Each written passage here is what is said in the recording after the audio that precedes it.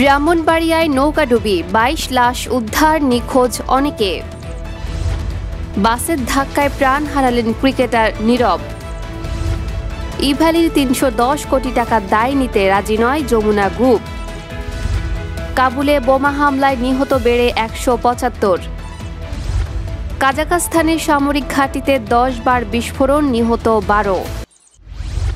ব্রাহ্মণবাড়িয়ার বিজয়নগর উপজেলায় যাত্রীবাহী ইঞ্জিন চালিত নৌকার সঙ্গে বালু বোঝাই ট্রলারের সংঘর্ষের ঘটনায় আরও এক শিশুর মরদেহ উদ্ধার করা হয়েছে। এ নিয়ে এখন পর্যন্ত বারো মরদেহ উদ্ধার করা হলো। এছাড়া নিখোঁজ রয়েছে আরও অনেকে। এর আগে শুক্রবার রাত বারোটা পর্যন্ত একুশ মরদেহ উদ্ধার করা হয়েছিল। রাতে উদ্ধার কাজ শেষে এই তথ্য জানিয়েছিলেন পুলিশ সুপার মোহাম্মদ আনিসুর রহমান। পরে আজ শনিবার সকাল আটটার দিকে আবারও উদ্ধার অভিযান শুরু হয়। প্রত্যক্ষদর্শীরা জানান, শনিবার সকাল সাড়ে নয়টা ঘণ্টার পর উদ্ধার অভিযানের সময় এক শিশুর লাশ ভেসে ওঠে। এরপর লাশটি উদ্ধার করা হয়।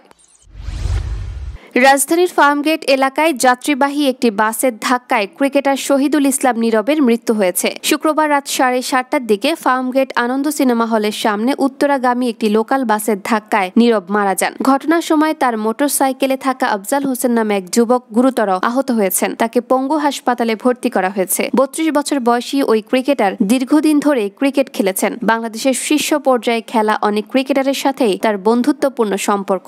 কলাবাগান ক্রীড়াচক্রের হয়ে খেলতেন প্রথম বিভাগ ক্রিকেটে।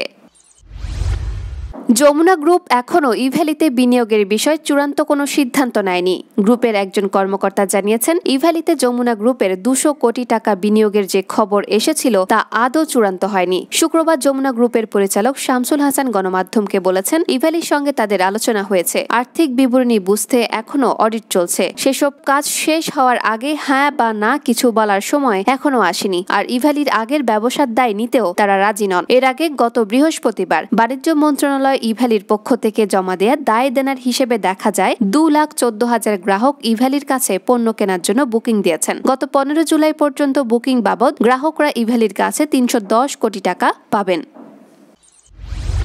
আফগানিস্তানের রাজধানী কাবুলের হামিদ কারজাই বিমানবন্দরে সন্ত্রাসী গোষ্ঠী ইসলামিক টেস্টের খোরাসান প্রদেশ শাখার ভয়াবহ বোমা হামলায় নিহতের সংখ্যা বেড়ে একশো পঁচাত্তর জনে দাঁড়িয়েছে। আহত হয়েছেন দেড় শতাধিক মানুষ। হতাহতের সংখ্যা আরও বাড়তে পারে বলে আশঙ্কা করা হচ্ছে। বৃহস্পতিবার সন্ধ্যায় কাবুল বিমানবন্দরে আবে ফটকে বোমা বিস্ফোরণ ঘটে। আইএস এই হামলার দায় স্বীকার করে বলে, যুক্তরাষ্ট্রের সেনা ও তাদের আফগান মিত্রদের লক্ষ্যবস্তু বানিয়ে তারা আত্মঘাতী হামলা চালিয়েছে।